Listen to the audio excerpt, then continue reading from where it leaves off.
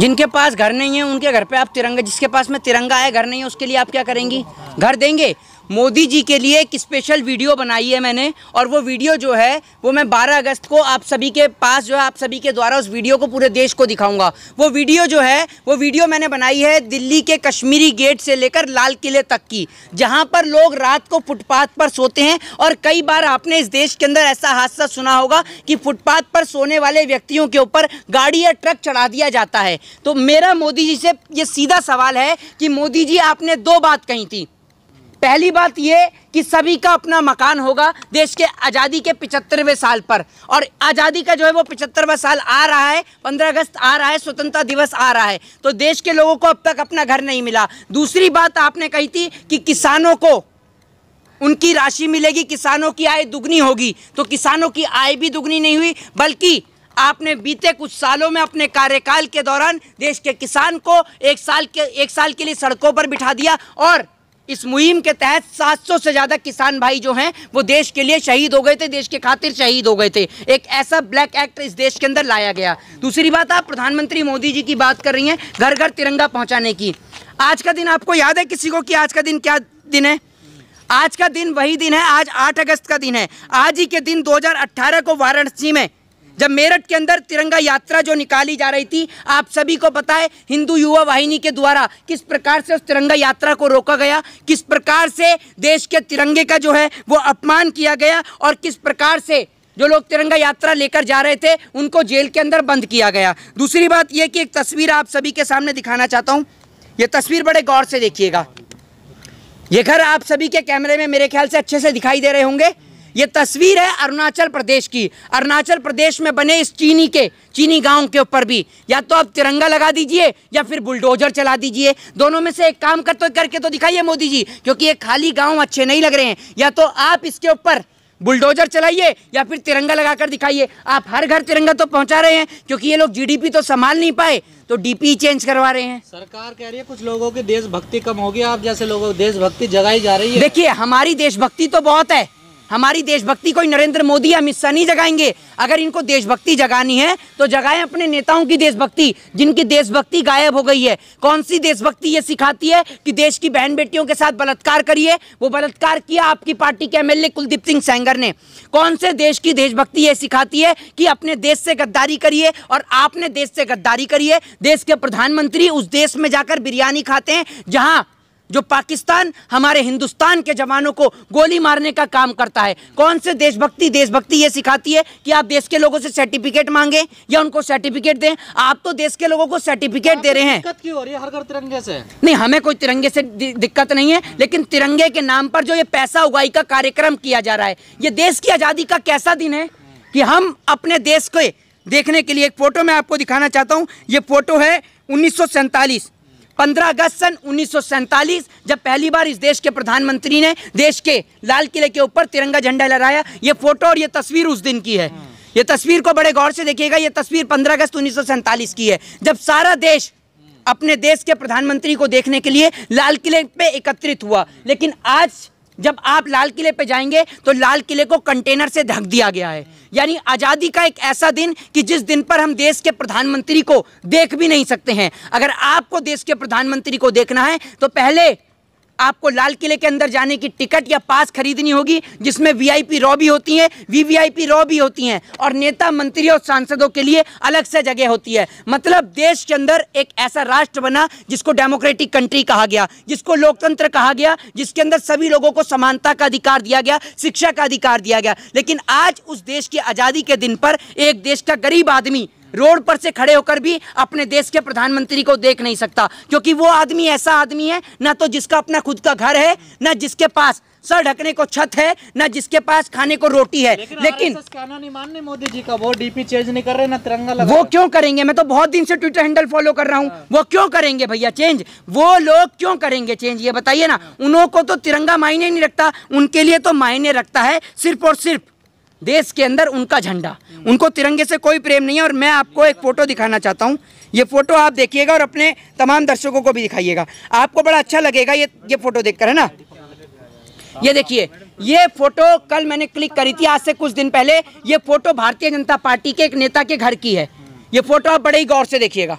ये photo Bharatiya Janata party के एक नेता के घर की है, जिसके अंदर कमल का झंडा ऊपर लगा हुआ है और तिरंगा नीचे लगा हुआ है। मतलब आप ये जो जिस प्रकार से तिरंगे का अपमान करवा रहे हैं, आप हर घर तिरंगा लहरवा रहे हैं। चलिए, तिरंगा लहरना बहुत अच्छी बात है, लेकिन देश के तिरंगे के लिए एक विशेष एक्ट बना हुआ है। तिरंगे की कुछ मान मर्यादा है, तिरंगे की कुछ अपनी रिस्पेक्ट है। ये वो देश का तिरंगा है कि देश की सरहद पे खड़ा हुआ जवान सीने पे गोली खा सकता है लेकिन इस तिरंगे को झुकने नहीं दे सकता है। आप घर घर तिरंगा तो पहुँचा देंगे लेकिन वो तिरंगा जब लोगों के पैर में आएगा वो तिरंगा जब सड़कों पर गिरेगा तो क्या होगा उसका? ये बताइए ना आप मुझे आप चंद पैसे कमाने के लिए या आप लोगों को राष्ट्रभक्ति और देशभक्ति का प्रमाण बांटने के लिए? भले ही। अमृत सुन लीजिए।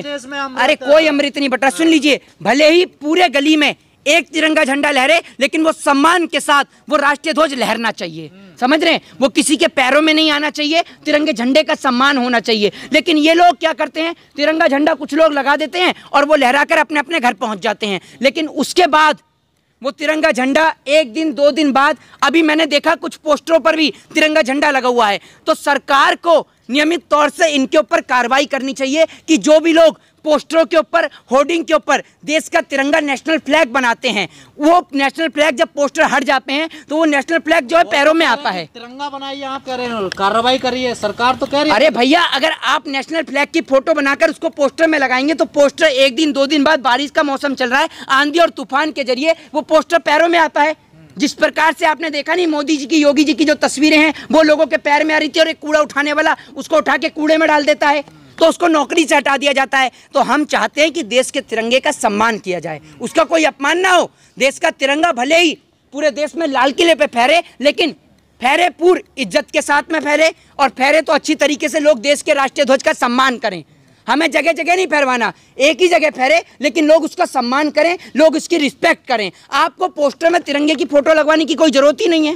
आप क्यों छपा रहे हैं इस प्रकार के पोस्टर? डीपी लगाया कि नहीं डीपी जी। डीपी चेंज की कि नहीं डीपी चेंज की? कि किस प्रकार की डीपी डीपी तिरंगे की लगाई कि नहीं? मोदी जी ने लगा दी है। अरे मोदी जी के कहने से थोड़ी मैं डीपी लगाऊँगा। मोदी जी बताएँगे कि मैं डीपीए लगाऊँ या नहीं लगाऊँ? ये बताइए ना मुझे। मेरे घर से इस देश के अंदर मेरे घर से आर्मी के अंदर हैं जिन्होंने अपना सर्वोच्च न्यौछावर कर दिया है? नरेंद्र मोदी के घर से अमित शाह के घर से आज तक कोई तिरंगे में लिपट कर आया है? बताइए ना। पर देशभक्ति तो है अरे देशभक्ति देखिए किस तरीके की देशभक्ति है। तड़ी पार वालों की जब देशभक्ति जागने लग जाए ना कभी चाय के स्टॉल पे तिरंगा लगाया है। बताइए। आज लग रहे हैं ना हैं? जब भीख मांगते थे भीख के कटोरे पे तिरंगा लगाया है। ये बताइए जब बांग्लादेश की आज़ादी की लड़ाई लड़ रहे थे तब तिरंगा लेके गए थे क्या? सवाल का जवाब दीजिए। आप हमें बताएँगे कि हम अपनी डीपी पे तिरंगा लगाए नहीं लगाए? आरएसएस वालों की डीपी बताइए बदलिए। पचहत्तर वर्ष हो गए तो अमृत महोत्सव है तो डीपी तो चेंज कर ही सकते हैं। एक बात आप मुझे बताइए, इन पचहत्तर वर्ष के दौरान क्या जिन्होंने देश की आज़ादी के लिए अपना सर्वोच्च न्यौछावर कर दिया? राजगुरु, सुखदेव, भगत सिंह, मौलाना अब्दुल कलाम आज़ाद अशफाक उल्ला खां और देश के वो तमाम क्रांतिकारी जिन्होंने इस देश के लिए अपना सर्वोच्च न्यौछावर कर दिया। क्या उनको शहीद का दर्जा प्रदान है? क्या उनको इस पंद्रह अगस्त के मौके पर या छब्बीस जनवरी के मौके पर याद किया जाता है? ये बताइए आप मुझे।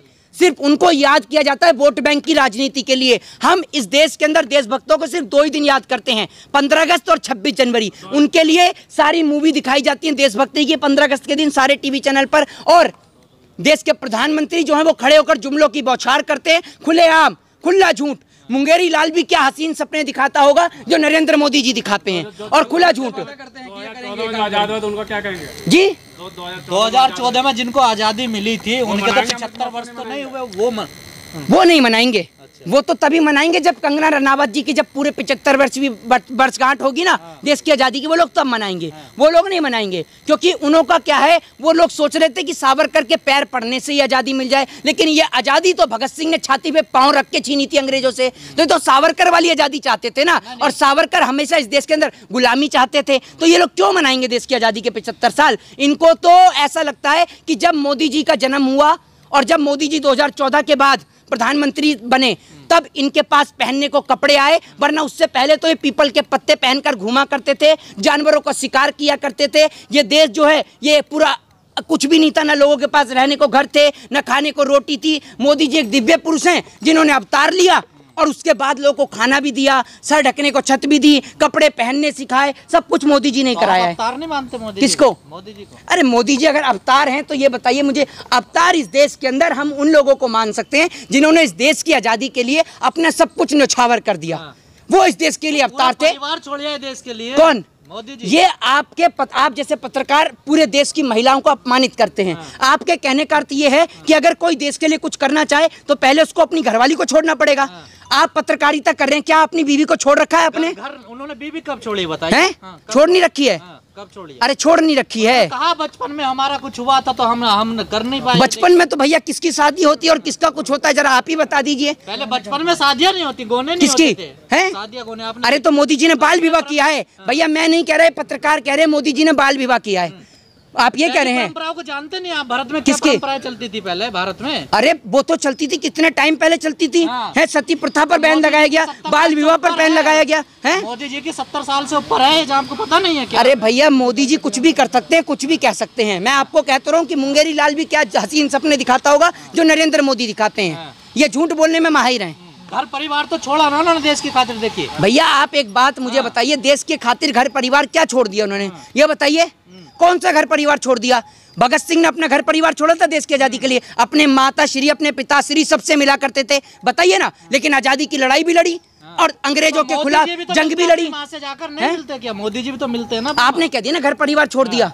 ये बताइए ना आप मुझे। वो फ़ोटो नहीं खिंचवाते थे ना। फ़र्क कितना है ना फ़ोटो नहीं खिंचवाते थे। भैया एक बात मुझे बताइए कौन सा नहीं मोदी जी का कोई घर नहीं है जहाँ तो मोदी जी फुटपाथ पे रहते हैं। झुग्गी में रहते हैं मोदी जी। कोई है उनकी प्राइवेट प्रॉपर्टी किसकी? मोदी जी की। मोदी जी झुग्गी में रहते हैं तनख्वाह नहीं मिलती देश के प्रधानमंत्री को। घर में रहते हैं किसके लिए? सरकारी घर में रहते हैं। अरे तो भैया प्रधानमंत्री हैं तो सरकारी घर में ही रहेंगे। हाँ, तो वही तो जब हैं। सुन लीजिए हाँ। जब सारी ज़िंदगी घूमने फिरने में और आपने ऐसी करके बिता दी तो सीधी सी बात है आप सरकारी आवास में ही रहेंगे। आपका अपना खुद का घर तो होगा नहीं। है। उनके घूमने फिरने से बड़ी आपत्ति है। बहुत आपत्ति है। जब इस देश की जनता सुन लीजिए जब इस देश की जनता दो वक्त की रोटी ना खा पाए ना और देश का प्रधानमंत्री चार बार कपड़े बदले तो आपत्ति होनी चाहिए। सुन लीजिए और मैं तो आज इस देश के ऊपर सोचने को मजबूर हूँ कि ये देश वो देश है कि जब ब्रिटिश ईस्ट इंडिया कंपनी ने इस देश के अंदर नमक के ऊपर टैक्स लगा दिया था तो ये देश सड़कों पर उतर गया था। लेकिन आज रोटी से लेकर कपड़े से लेकर तमाम चीज़ों के ऊपर टैक्स लग गया लेकिन ये देश गूँगा और बहरा हो चुका है। इस देश के लोग सो चुके हैं। आखिर इसका कारण क्या है? इस देश के अंदर संविधान की धज्जियाँ उड़ाई जा रही हैं। अभी क्या? आप अकेले पूरा देश जगा हुआ है लेकिन आप जैसे पत्रकारों की खामोशी इस देश की गुलामी का सबसे बड़ा नतीजा है। ध्यान रखिए आप जैसे पत्रकार इस देश के अंदर ये प्रमाण देते हैं कि अगर ये देश गुलाम होगा तो उसके जिम्मेदार आप होंगे क्योंकि आपको पेन पेंसिल रबड़ कॉपी और किताब के ऊपर लगता हुआ टैक्स नज़र नहीं आता। आपको नज़र आती है तो सिर्फ़ मोदी जी के जो माता श्री के साथ फ़ोटो खींचती हैं वो नज़र आती हैं। हैं? अरे तो गब्बर सिंह क्या घर लेके जाता था। है गब्बर सिंह का कोई घर परिवार था लेकिन फिर भी डांका डालता था। आपने पूछा कभी वो किसके लिए डालता था? करता था क्या कौन? ये बताइए आप मुझे अगर मोदी जी देश हित में कर रहे हैं तो गब्बर सिंह भी देश हित में कर सकता है? सीधी सी बात है। टैक्स का पैसा देश हित में जाता है ना। क्या? अरे टैक्स का पैसा देश हित में तो लग ही नहीं रहा। टैक्स का पैसा तो नेता और मंत्री की घुमाई के लिए लग रहा है। ये नेता मंत्रियों को जो तनख्वाह मिलती है ये हमारे और आपके टैक्स के पैसे तो से मिलती है। है लेकिन हमारा टैक्स का पैसा आपका दलाली का पैसा ये ध्यान रखिएगा। और आप लोग जो हैं ये पंद्रह अगस्त और छब्बीस जनवरी को अपनी देशभक्ति मत जगाइए। अपने मिठाइयाँ बट रही हैं योगी जी के काम को देखकर वो अपने नेताओं पर भी बुलडोजर चला रहे हैं देखिए। नेताओं पर बुलडोजर नहीं चला रहे हैं। ये बात तो इस देश के उन तमाम लोगों को समझनी चाहिए जो बड़ा गला फाड़ फाड़ कर सड़क पर लेट लेट कर चिल्ला रहे थे। हिंदुओं की सरकार है। हिंदुओं की सरकार है। देख रहे हैं ना आप किस प्रकार का कांड हो रहा है। जिस प्रकार से भारतीय जनता पार्टी ने विकास दुबे का इस्तेमाल किया ठीक उसी प्रकार से अब श्रीकांत त्यागी का भी इस्तेमाल जो है वो खत्म हो गया था। इसीलिए उनके घर पे कार्रवाई की गई। वरना इतने दिन से कोई कार्रवाई क्यों नहीं की गई? इस सवाल का आप जवाब दीजिए। हो है भारतीय जनता पार्टी देश के अंदर तमाम लोगों का इस्तेमाल करती है चाहे वो इस देश के अंदर S C S T OBC के लोग हों चाहे इस देश के अंदर वो ब्राह्मण हो चाहे शूद्र हो चाहे वैश्य हो चाहे क्षत्रिय हो। लेकिन समय रहते जो व्यक्ति समझ गया संविधान को अपना लिया तो वो बच सकता है वरना ये देश की बर्बादी। ब्राह्मणों का भी इस्तेमाल करती है बीजेपी? अरे कमलेश तिवारी की तो हत्या ही करा दी गाजियाबाद में आपने देखा नहीं कि एक परिवार को पूरे परिवार को कुल्हाड़ी से काट दिया गया था? बताइए ना आप मुझे। और दूसरी बात ये कि ये जो जातिवाद वाला जो फैक्टर है ना इसके ऊपर बात ही करें, बात ही ना करें तो ही बेहतर है। क्योंकि इस देश के अंदर सबसे बड़े गर्व की बात यह है कि हम आज़ादी का पिछहत्तरवा साल मना रहे हैं और हम सबको एक होना ज़रूरी है। हम हिंदू, मुसलमान, सिख और ईसाई से पहले, सबसे पहले हम इस देश के नागरिक हैं और हम इंडियन हैं। तो हमें गर्व से कहना चाहिए I proud to be Indian Jai Hind, Jai Bharat, Vande Mataram.